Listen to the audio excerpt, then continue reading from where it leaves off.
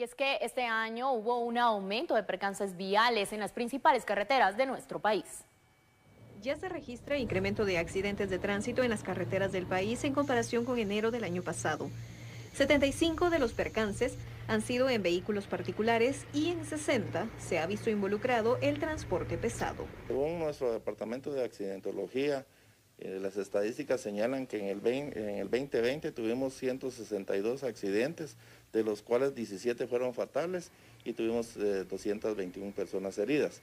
En lo que va del 2021 tenemos 186 accidentes, 16 lamentablemente fatales y 96 personas heridas. En ese sentido, eh, ¿qué tipo de transporte es el que más se ha visto involucrado en estos hechos de tránsito? Bueno, lamentablemente el transporte pesado. Para contrarrestar los hechos de tránsito en el transporte pesado, Provial destaca que están en una mesa de trabajo con gremiales de transportistas. Esta semana tuvimos una reunión, una mesa de trabajo en la cual se llegaron a grandes acuerdos y la voluntad de ellos de querer trabajar por el beneficio de Guatemala.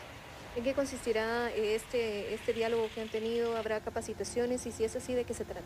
Eh, correcto, eh, una de las eh, que llegamos en el entendimiento fue de ocho de capacitaciones virtuales y presenciales, en las cuales hemos llegado al acuerdo con ellos de ocho módulos, que serían leyes y reglamentos, señales de tránsito, alcoholemia, fatiga y cansancio, por contarle algunos de los, que vamos, de los temas que vamos a tocar. ¿Con cuántas gremiales se reunieron aproximadamente?